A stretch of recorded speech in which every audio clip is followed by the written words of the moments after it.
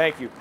First and foremost, thank you guys for being here this morning. You guys are the are, are the troopers, all right? 745. I saw some people stumbling back uh, last night or getting really just getting ramped up. So you guys being here, I appreciate that. I want to start off first uh, thanking a couple of people. Number one, uh, I want to thank my head coach Brian Gregory for allowing me to be here. Uh, I literally jumped on a plane, came here. We're right in the middle of the season. I go back and we play a game tomorrow. So I had the opportunity. I told coach, "Hey, I'm going to be speaking." He said, "Go represent us." Worked with the guy 11 years. So uh, just thankful for him to be here. Secondly, I'd like to thank Gary Schofield. He had the opportunity to introduce me to uh, Patrick McHenry, who serves on the board of directors for the NSCA. And I met Patrick at the uh, National Convention last year in Orlando. And we were actually in a hallway, and I was showing Patrick this stuff. And Patrick's like, hey, man, we got to get you to speak. And so, uh, big hats off to him. So, one of the things that uh, we're going to do today, we're, I'm going to be a presenter that's going to ask you to pull your phones out, okay? Because we're going to do some live polling with you guys. If you haven't participated in that, uh, do that. So what you're going to do is you're going to dial that number, and then you're just going to text Michael B. It's basically my last name without the Y, 360. And when you do that, you will automatically get a message that says you're in. You're part of the crew. All right, so I'm going to let you guys go ahead and do that. What we're going to talk about today, and Leanne already touched on it, she doesn't have time to do a movement screen. Nobody has time, right? But everybody's doing a warm up. So, in the time it takes you to do a warm up, you can do a movement screen. I'm going to share that with you today. Everybody in?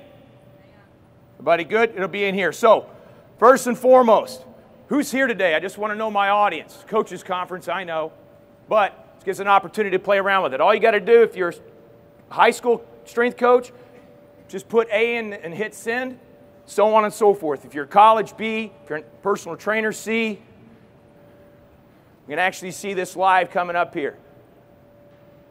Sweet. So we got mostly college guys here. All right, great. Isn't that pretty cool? I did a presentation with some high school kids. I couldn't get a response from them. I had this in here, and I had unbelievable response from high school kids. So uh, it's kind of a neat thing. So my thing is this: I want to teach you guys a little bit of my philosophy, why I think movement screening is so important. Number one, what is the difference between a high-performance sports car and a high-performance sports athlete? What's the difference between a pit stop and a warm-up, a training session? okay, an injury assessment. And my point is this that both the car and the human body is a dynamic, highly complex machine. It needs to be continuously evaluated in order to maximize performance and minimize mechanical failures. Okay, so I always ask my athletes Are you a dump truck or are you a Ferrari? Every single time, Coach, I'm a Ferrari. Guess what? I think you're a Ferrari too. That's why you're here today. And guess what? I'm the mechanic. This weight room is my garage. That court is the test track, and then the racetrack is obviously the basketball court. And so I approach my training with my guys that way. And let's look at a car, a highly a high performance sports car. We'll take NASCAR. That car doesn't sit in the garage and they pull it out the day of the race, turn the key, pull up the start line and expect that thing to run at peak performance and put itself in a position to win. There are months, weeks, days, minutes, seconds leading up to that race to try to maximize performance and put themselves in a position to possibly win. And that's the same way that I treat my athletes when they come in there. And I think this is a great quote from uh, one of uh, George's uh, own, Roy Benson. I think the easiest thing in the world to do as a coach is to get a guy strong or a girl strong, to get our athletes stronger. I think anybody can do that. And I think anybody can make an athlete tired. I mean, we all know those coaches. That wasn't a good practice unless somebody puked. All right, wasn't a good session. But I think not everybody can make somebody better. And that's what defines us in our profession is that anybody can make somebody stronger, anybody can make somebody tired, but can you make them better?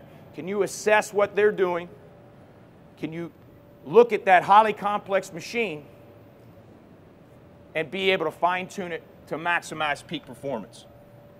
And so let's do another question here.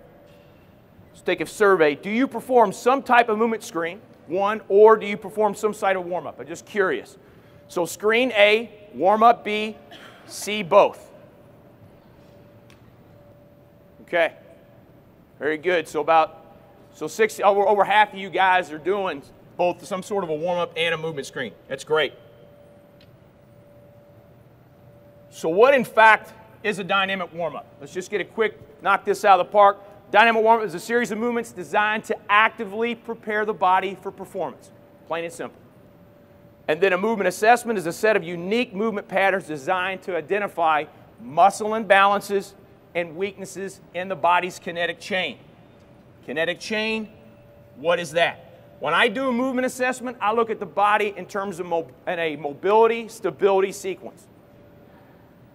Starting with the foot, everything we do is ground up.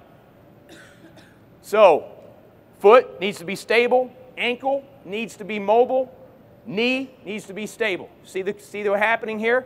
Stability, mobility, stability, mobility in the hips. Leanne talked about that. Kids lack the flexibility in the hips, trunk stability, and then T-spine, thoracic spine mobility. At any point in time that that kinetic chain is broken, you're going to rob efficiency, you're going to minimize performance, you're going to put a higher susceptibility to some sort of injury, mechanical failure. So again, if I've got a hip that's immobile and it's wedged between two stable joints, susceptibility for injury, it's just going to be height. And this is how I use my system looking at my kids. I don't grade them out of one, two, or three. I don't get them in a pass fail. I just look at it, joint segments, okay? And we're going to practice that today and saying, we look at our athletes every day. That squat, he's not squatting correctly, he's not cleaning correctly, he's not doing this correctly. We already have a trained eye. Just looking at that athlete as they move and be, just be able to make a just a quick note about what you're seeing. So, if you do perform a movement screen, what is your biggest challenge? What is your biggest challenge as a coach? My favorite one is uh, coach adherence. You know, you do all that stuff and you should tell the coach and it just goes in one ear and out the other. Okay? Time, right? I don't need a bigger weight room. I don't need more weights. I need more time. It's a big one. How often do you screen your athletes? This is a big one. It's one thing I know some people they do. I, I ask them, I say, How often do you screen your athletes? Uh, once a year. Wow. Okay. Okay. Once a semester. What if I told you you could do it every time you do a warm up? So, this begs the question. If you're not, this is only if you're not doing some sort of movement screen, what is your primary reason? If you're not doing a movement screen, staffing. So what's interesting is this. If you're doing a movement screen, you don't have time. And if you're not doing a movement screen, you don't have time. We don't have time. Right? That's the tough part. Finding the time to get that in. So, again, combining what we're already doing with something that's going to allow us to assess. And we combine the advantages of dynamic warm up movement screen, combining those together. Obviously, it's going to optimize a time-starved schedule. And honestly, the high school, I don't even know how you guys get it done in terms of the time constraints that you have.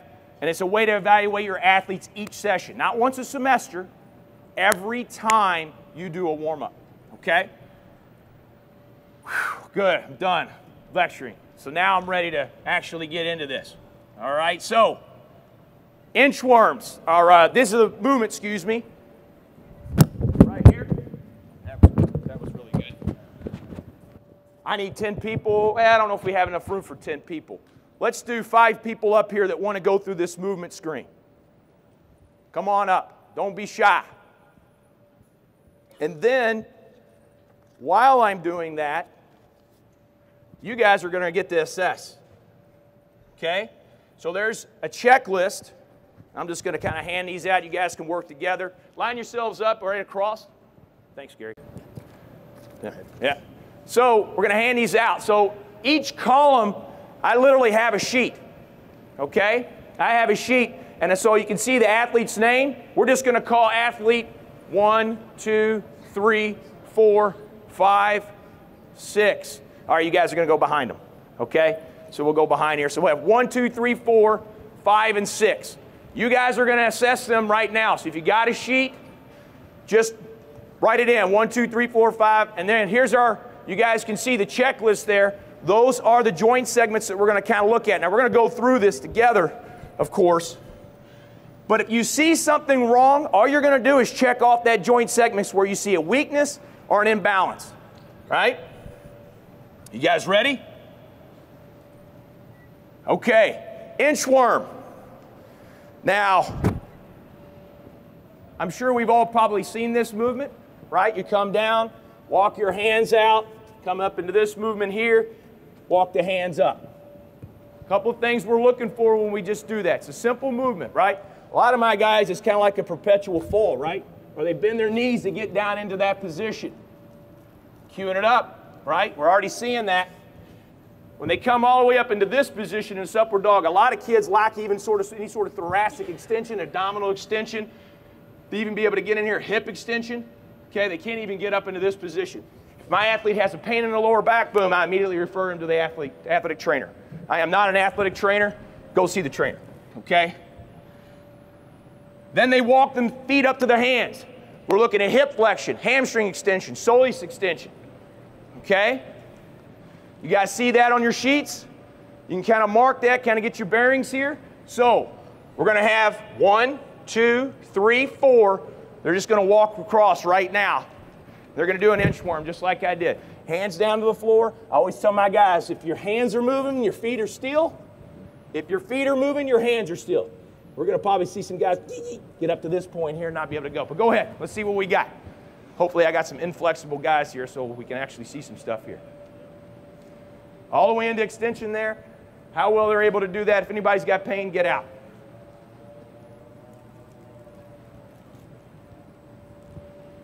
We're just going to go across to over on the other side. Good.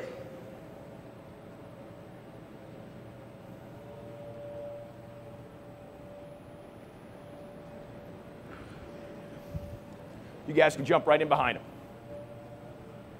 Yeah, seeing anything? We've seen some limitations there in the hip flexion. We've seen some, some limitations in the hamstring extension. Okay, you guys seeing that?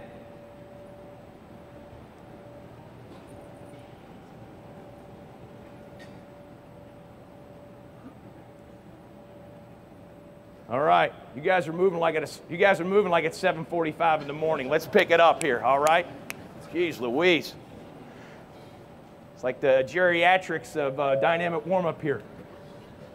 All right? Typically, what I'll do is I just won't do this. Then I, I, have, a, I have what I call foundation movements foundation for plyometric, foundation for agility, foundation for linear speed, foundation for movement, right?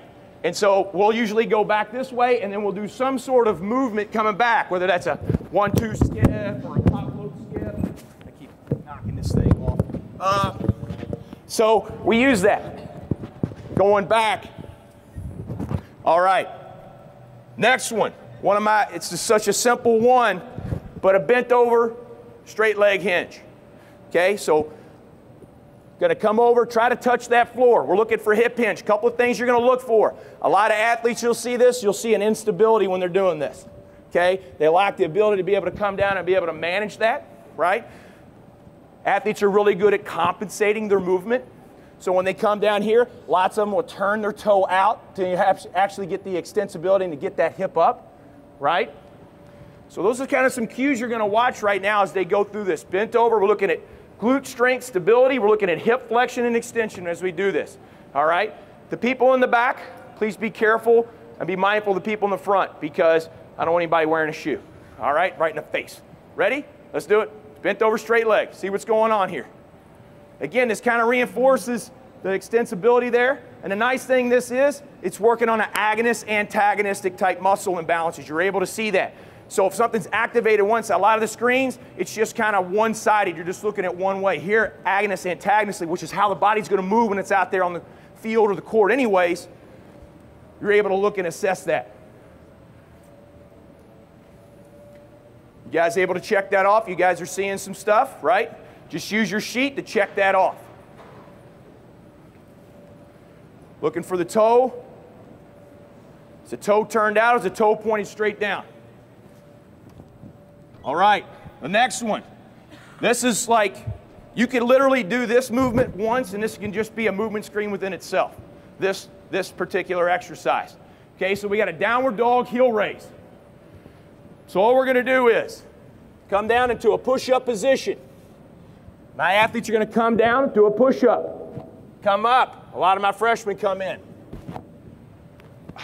Right? We got a Georgia aquarium. I said, dude, you look like you could be down there begging for fish, right? You're like, uh, trying to do a push up. Come down. From here, we're going to look at, I love this. This is going to tell me whether or not you can even do an overhead squat.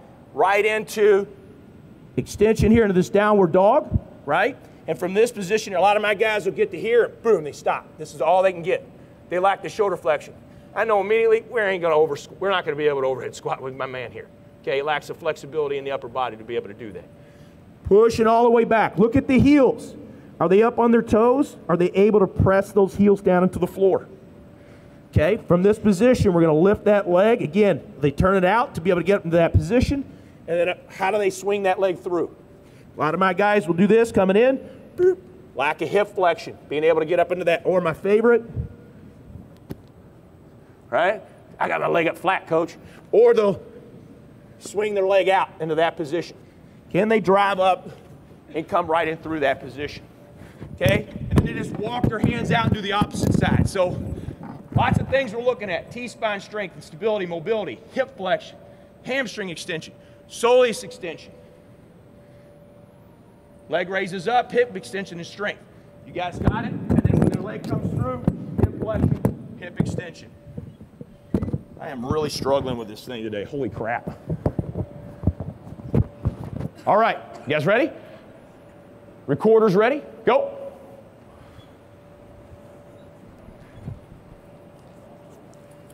Push up, what kind of form we got? Driving those heels. Some people say, uh, don't tell them what to do uh, because then they'll learn a test. I don't care. I'm, gonna, I'm a coach. I'm going to coach you up. I want you to, I want to see what you're doing. All right, come on back down, my man. Push up. Good. Drive the heels into the ground, full extension here. Raise this leg up for me as high as you can. Okay, when he raises that up, what happens? Maybe he comes up a little bit. He has to rise up on that toe. Swing it through, then walk the hands out. It's almost like an inchworm back out, and then do the other side. Push up, drive the heels into the ground, press. People that are doing it behind them, again, be careful. Watch my man pull his leg through here. He has trouble there. Probably got some tight hip flexors, got some hip mobility, flexibility issues there. Can't swing that leg through to get it flat. Let's get you a little bit more into an extension here. There you go. Again, you may have to cue him up. You say, oh, he can't get extended. Well, maybe he just needs to know the cues. I have no problem. See how we're doing there? She's swinging the leg through. She's having to do this to get that leg up and through. Lack of hip mobility, flexibility there. You guys getting warm? Getting warmed up? You guys are so, like so perfect on these things and slow. All right?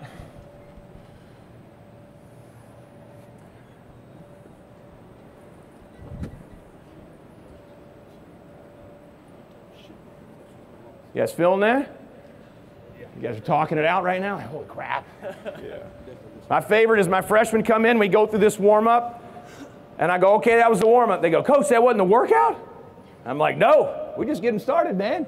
Like they're literally pouring sweat. You guys are moving at break like a snail's pace, so we're okay. All right, we got the rest of the day. Next one I really like is the quad table reach. Okay, very simple. Opposite hand, opposite foot. Why do I go opposite hand, opposite foot? I'll explain that in a minute. Push the foot against the hand. Let the leg do the work. Reach out into a dynamic position. Being able to go out into that tight or excuse me, to that table position. Again, you'll see your athletes, if they lack the flexibility, you'll see a lot of this. They'll have to come down, lacking glute stability, lacking strength here, right? Opposite hand, opposite foot, push themselves down into that position, come down with control, opposite hand, opposite foot, coming all the way out there, okay? And you'll see the reason why I don't do this, same hand, same foot, is this. Knee goes out, and I don't get a really, again, they're athletes. They're gonna, they're athletic, they're gonna compensate their movements. So I go opposite hand, opposite foot out into that table position. And you're gonna see a lot of your athletes, if you try this movement, it's this. Okay, like that agonist, antagonist. I got hip flexion and hip extension happening at the same time. Okay, it's kind of the beauty of being able to do this too and be able to look at that. You guys ready? Scores ready? Go.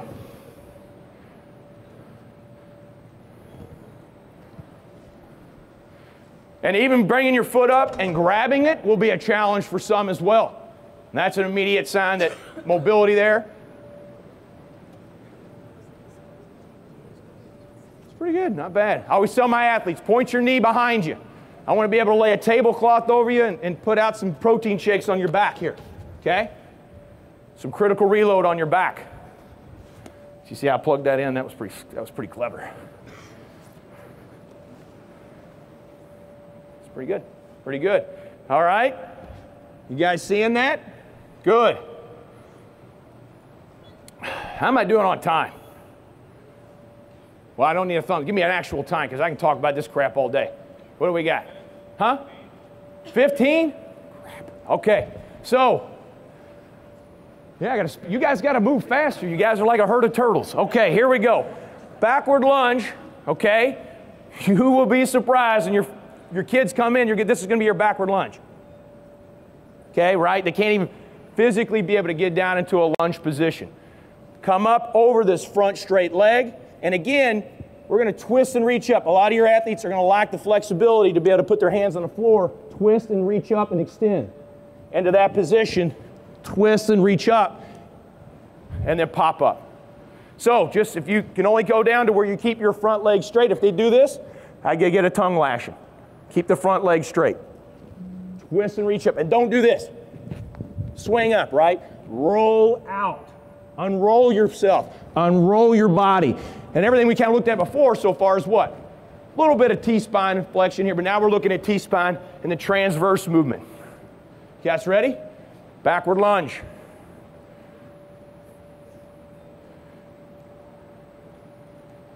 Twisting and reaching up. What kind of flexibility, mobility do you have to be able to do that?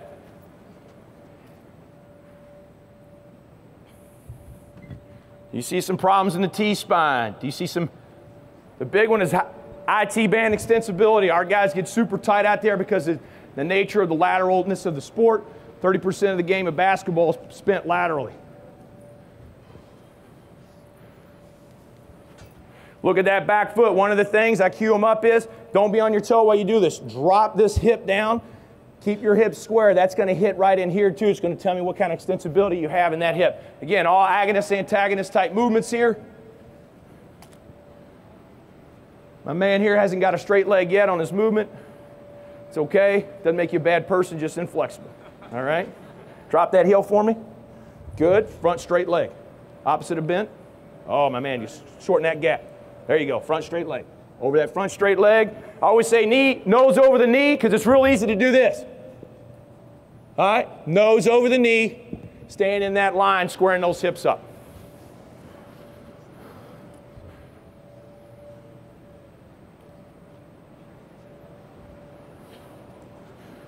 See some hamstring issues there too? Okay?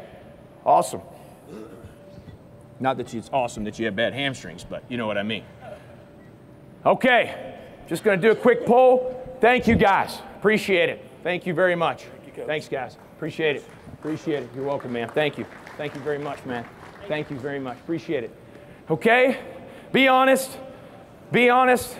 This is where probably some of my friends may screw around with me and be like, you know, you suck. Probably see that shoot up there. I try to prevent that. Um, so, one of the other things that I've kind of put in, this thing has evolved over the years, is just a lunge and reach is one of our other ones. that you saw up there, part of our segments, but you reach across here, okay? So I'm looking at this extension and rotation, but I want to plug the fingers to the floor. You'll be surprised how many of your athletes can't even get into here, get into this lateral flexion. Then I twist and rotate back. So we're looking at all the transverse planes, we're looking at the sagittal and frontal planes. How is the trunk and T-spine moving? Okay? Going to be extremely important, especially for who? Your overhead sports, tennis, volleyball, baseball, to be able to see that, right? So again, here, twisting across, plugging, twist and reach, reach back.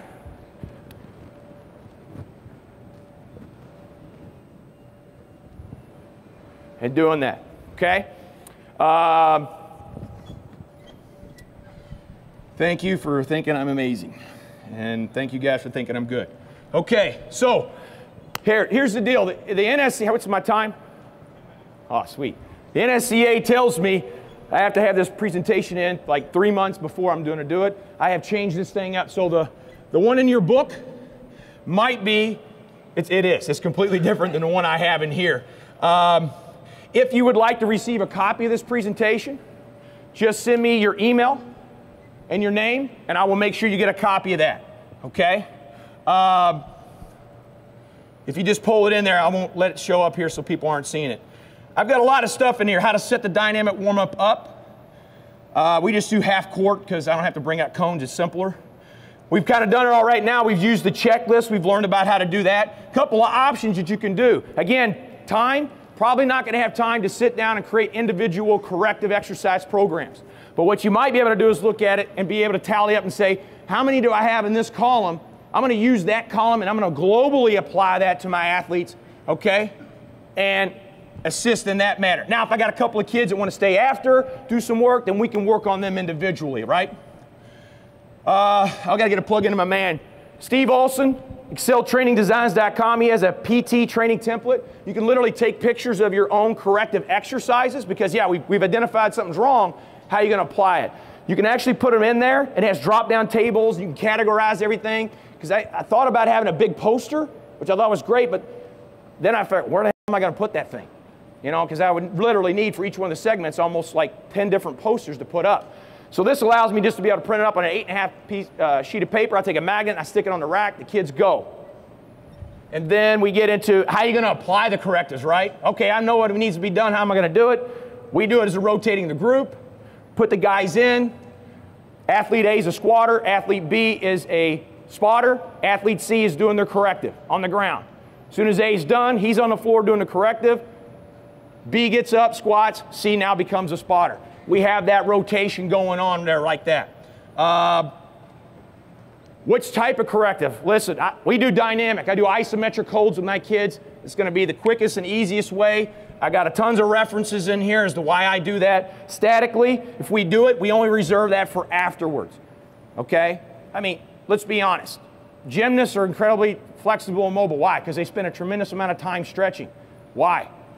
So they can actually do it. But you can't we don't have that time to be able to put that. So static stretching improves mobility, okay? But on a time constraint, we can get the same thing from a dynamic corrective movement and actually strengthen, okay? And this is the biggest thing here. Um, I'll talk about it. Everybody's using the Joe Kenn system, okay? You can look at if I'm doing upper body training that day, focusing on that, then I'm going to do upper body correctives. I want to strengthen that. If I'm doing lower, if I'm doing total body, I may do a blend of stuff that I see globally as being a problem, and I get a blend of that. And the reason being is anytime we increase mobility, we must increase stability, increase strength. Because if we make something more mobile and it can bend and move out there, and then you send them out the, on the court or the field and go out there and perform at a very high speed, and they don't they had not developed the mobility and stability to be able to handle that newfound strength, you're going to open yourself up for, for susceptibility for an injury there. Okay? Um, how many times a week we do it, and then just some corrective tips and stuff. So, and I got a ton of references in terms of static versus dynamic and all that stuff. So, uh, right now, I want to be able to open it up and offer uh, questions. And I only gave you guys like five of my stuff here uh, with the stuff uh, as far as the actual movements themselves, but I know you guys probably got a thousand questions, so how much time do I have? Eight minutes. Sweet. So I can answer questions, or you guys can say, show me some more, and I'll do that too. So, all right? Yes, sir. How often do you use this type of warm event today or how every time we have a warm, I have a practice uh, in season right now, I'm doing it. We're on the court. Coach gives me seven minutes to get them ready to go. Okay, coach.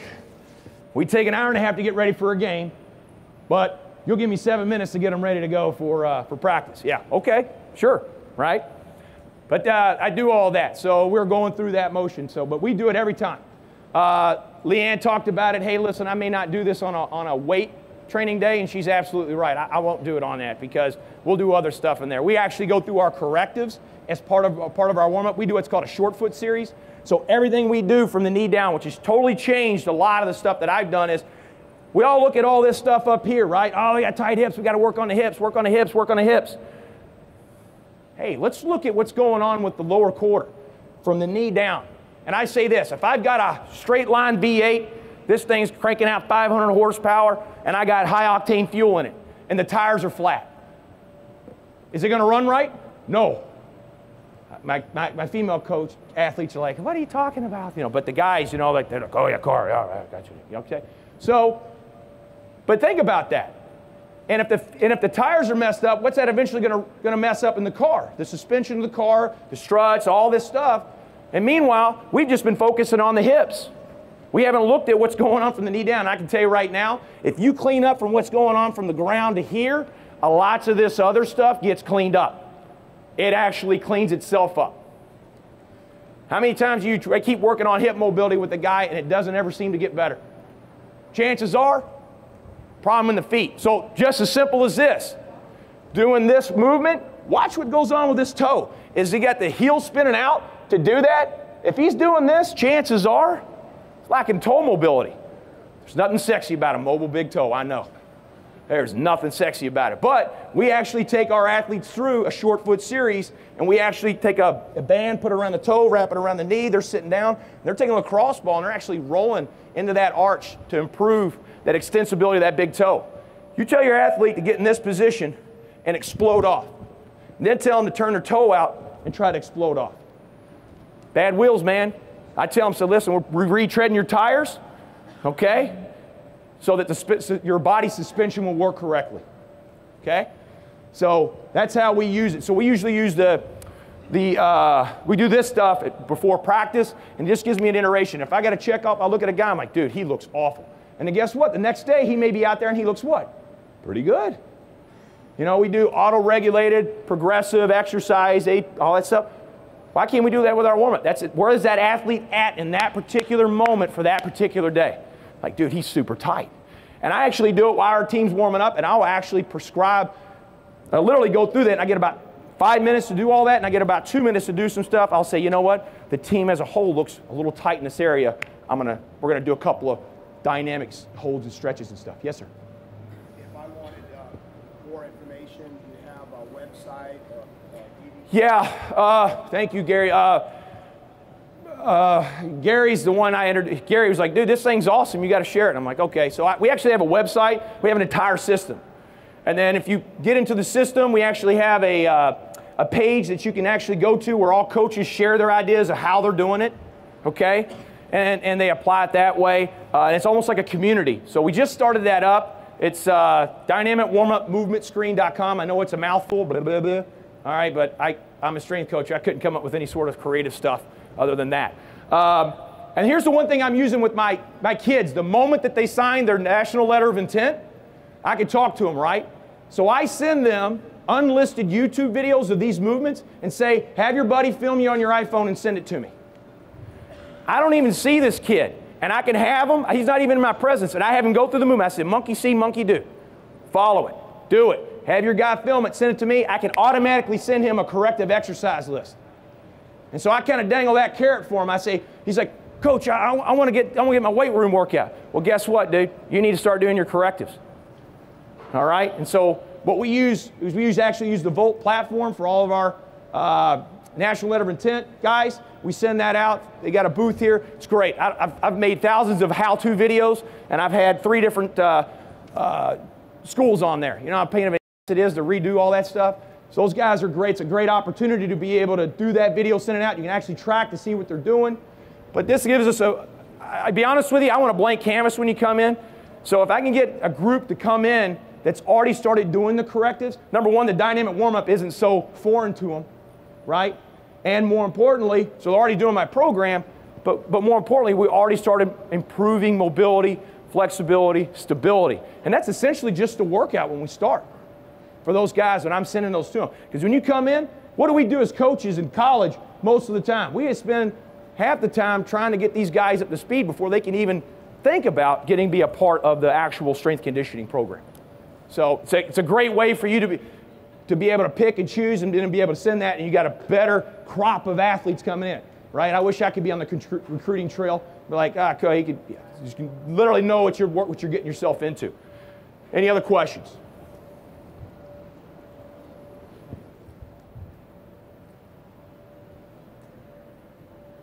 How much time would I like to have? uh, I, coach asked me that question. I told him, he said, you no chance. So I, uh, I would like to have probably 10 to 15 minutes because I think what it allow me to be able to do is be able to look at what they're doing, assign a couple of things that I see in terms of being tight with the guys. We could do some dynamic isometric type stuff, okay? And that would probably give me enough time to be able to do that. Uh, ideally would be that uh, probably 10 to, 10 to 15 minutes would be optimal. I'm never going to see that. Never going to see that. And then sometimes coach would be like, hey, Mike, you got him 10 minutes today. I'm like, oh, sweet, I get extra three minutes and we'll do a little extra stuff. All right? But, uh, you know, that's the strength coach. You got to gotta operate on the fly. Yes, sir. Got one minute. One minute.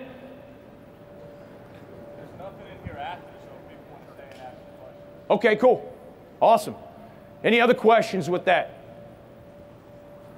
Thank you guys. I appreciate it. Appreciate your time. Appreciate you being here this morning.